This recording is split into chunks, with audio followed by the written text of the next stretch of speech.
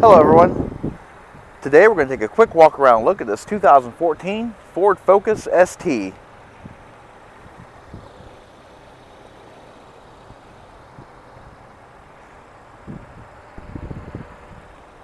This Focus is painted in tuxedo black, clear coat metallic, has the ingot silver racing stripes,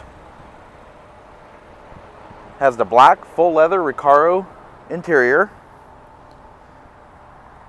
it is powered by a 2 liter 4 cylinder EcoBoost engine with a 6 speed manual transmission.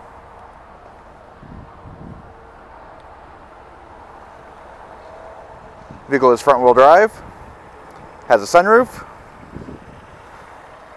keyless remote entry with smart key access, the My Ford key, programmable uh, key fobs, projector beam, high intensity xenon discharge headlamps, with LED lighting. So we'll take a look at the interior. Alright, so inside we have power heated mirrors, windows, and door locks. The mirrors also have a spotter mirror in them as well. 8-way power driver Recaro bucket seat.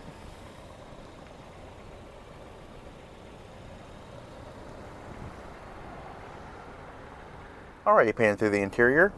This vehicle does have automatic headlamps cruise control. You've also got your trip computer buttons, your audio, and your voice recognition.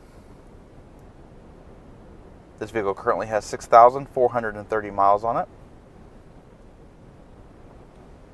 Does have a push button start. The Sony premium audio system with navigation.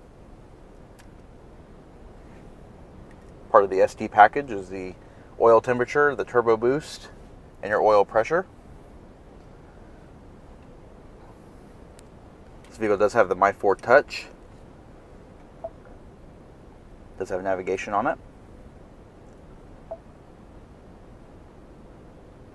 Has sync Bluetooth. Dual zone electronic climate control.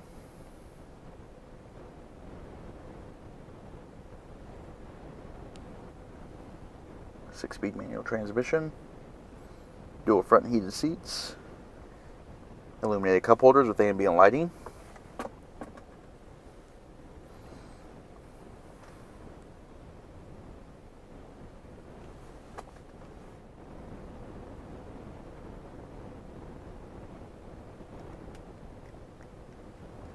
Alrighty, overhead, you have sunglasses storage,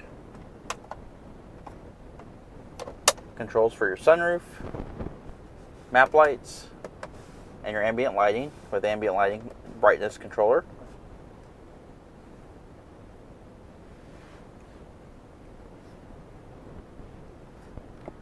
We've also got your map lights above the driver and passenger. All right, taking a look at the rear seat.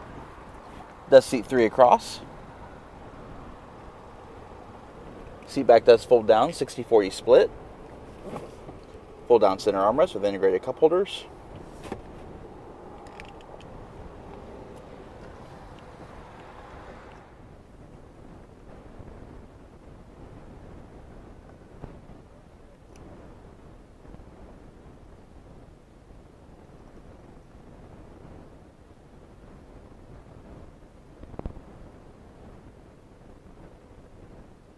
Alright, this does conclude our quick walk around look at this 2014 Ford Focus ST.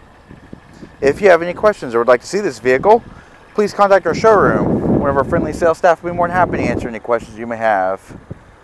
And as always, thanks for watching.